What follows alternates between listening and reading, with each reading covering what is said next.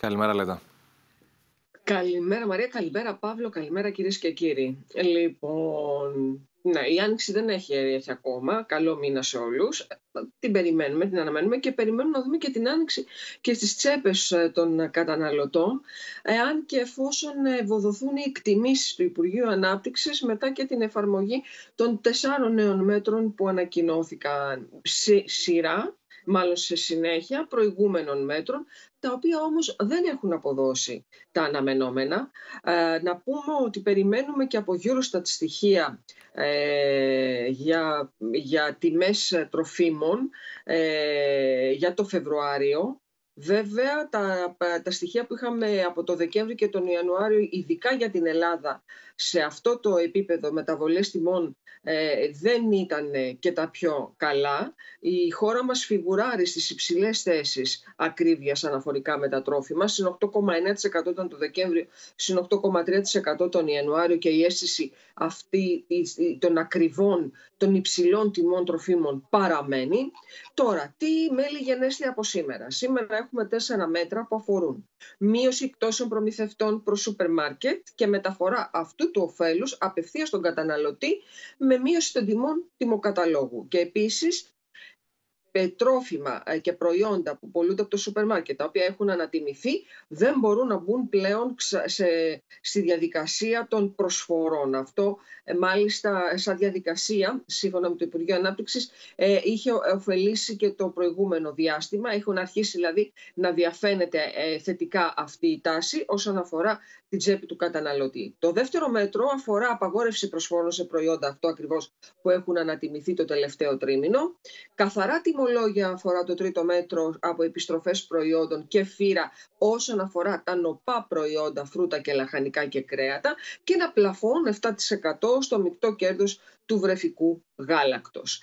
Η εκτίμηση του Υπουργείου μετά την εφαρμογή αυτών των μέτρων είναι ότι θα υπάρξει μείωση τιμών έως και 18% σε ένα πολύ μεγάλο αριθμό κωδικών, 3.000 ε, περίπου προϊόντα υπολογίζονται σε 13 βασικές κατηγορίες που περιλαμβάνουν τις πιο μαζικές σε κατανάλωση, ε, τα πιο μαζικά σε κατανάλωση είδη σούπερ μάρκετ, βρεφικές, βρεφικά είδη, παιδικά είδη, παιδικές τροφές και προϊόντα υγιεινής, απορριπαντικά, καθαριστικά σπιτιού, προϊόντα προσωπικής φροντίδας, τα οποία όμως, οφείλουμε να πούμε, στη χώρα μας τιμολογούνται και πολλούνται πολύ ακριβότερα, μάλλον ακριβότερα για να μην βάλουμε πολύ, ε, να μιλάμε και σωστά. Ε, Βάλ το Λέτα, δεν δε θα παρεξηγηθεί κανένας. Να βάλω τον πλεονασμό, ε. Είσαι και μέσα στο κλίμα, δεν, είσαι, δεν είναι και ανακρίβεια. Λοιπόν, ε, σε σχέση με τις υπόλοιπες ευρωπαϊκές χώρες, δυστυχώς. Λέτα, άρα αν καταλαβαίνω σωστά το Υπουργείο Ανάπτυξης υποστηρίζει ότι σήμερα κιόλας στο ράφι οι καταναλωτές θα δουν μείωση έως και 18%. Όχι μακροπρόθεσμα. Α, το 18% είναι μακροπρόθεσμη επίδραση στην αγορά, έχουν Ήδη, έχουν ήδη εμφανιστεί κάποιες μειώσεις ε, ε, σε σειρά προϊόντων, ε, έδωσε μια σειρά προϊόντων το Υπουργείο που έχουν ήδη υπάρξει σημαντικές μειώσεις, ειδικά στο βρεφικό γάλα που ήταν και πολύ μεγάλη συζήτηση. Ωστόσο, υπάρχει εκτίμηση ότι από την εφαρμογή αυτών των τεσσάρων νέων μέτρων θα, έχουμε επιπλέον αποκλιμάκωση τιμών όσον αφορά τα, τις συγκεκριμένες βασικές κατηγορίες προϊόντων που είπαμε ότι αφορούν ε, τα καθαριστικά σπιτιού, προσωπικής φροντίδα, πολυπαντικά, βρεφικά είδη, παιδικές τροφές κτλ. Εδώ λέτε θα ήθελα μία επισήμανση να κάνω, γιατί εμείς είμαστε εκπαιδευμένοι στη γλώσσα που χρησιμοποιείται και αναπαράγουμε κι εμείς, αλλά να το πούμε και ακόμη πιο λιανά στους τηλεθεατές μας. Η μείωση τιμών έως και 18% σημαίνει ότι μπορεί να είναι από 8 έως και 18% και να είναι μία συγκράτηση έως και κατά 18% για μερικά μόνο προϊόντα από αυτά τα 1.500 ή 3.000 κωδικούς για τα οποία συζητάμε. Άρα λοιπόν περιμένουμε να δούμε και αυτό δεν σημαίνει κιόλας ότι θα επανέλθουν και οι τιμές στα επίπεδα προ 1,5 έτους. Απλώς ε, θα επιβραδυνθεί ε, ο ρυθμός ε, της ακρίβειας, των ανατιμήσεων. Πάρα πολύ σωστά. Έτσι, για να το πούμε, γιατί ξέρεις καμιά φορά μέσα στο, στη, ναι. στους ταχύτητες στις οποίες ζούμε δημιουργούμε και εμείς εντυπώσεις ότι θα γίνει κάτι που η τσέπη μας θα το αντιληφθεί και εύκολα και γρήγορα. Όχι. Έτσι είναι, το ταβάνι φτάνει σε αυτό το, το διψήφιο ποσοστό που είναι η εκτίμηση του Υπουργείου Ανάπτυξης αναφορικά με την πτώση των τιμών.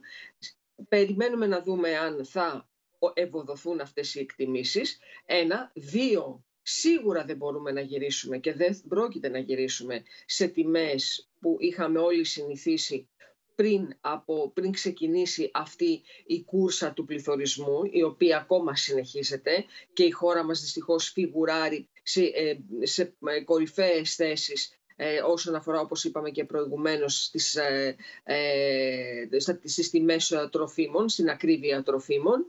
Και βέβαια ε, οι, οι καταναλωτές θα, θα δουν σε κάποια προϊόντα κάποια, κάποιους περιορισμούς, χαμηλότερες τιμές, μακάρι αυτό το εύρος να είναι ακόμη, ε, μάλλον να διευρυνθεί αυτή η γκάμα των, των, ε, των χαμηλότερων τιμών σε ακόμη περισσότερα ναι. προϊόντα. Να πούμε βέβαια πώς σε σχέση με τα στοιχεία, με βάση τα στοιχεία και του Υπουργείου Ανάπτυξης, πως το Φεβρουάριο του 2024 οι ανατιμήσεις που παρουσιάστηκαν συγκεντρωτικά ε, έφταναν τα 800, τους 890 κωδικούς προϊόντων έναντι ε, 3.760 κωδικών προϊόντων που, ήταν, που είχαν ανατιμηθεί σύμφωνα με τα στοιχεία του Φεβρουαρίου του 2023.